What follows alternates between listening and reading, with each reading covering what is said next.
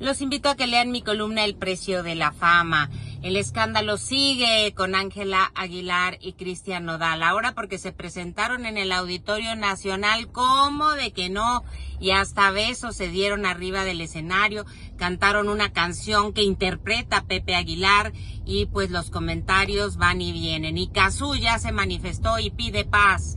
Ella se saldrá por un tiempo de las redes. Estoy más en mi columna, no se la pierdan.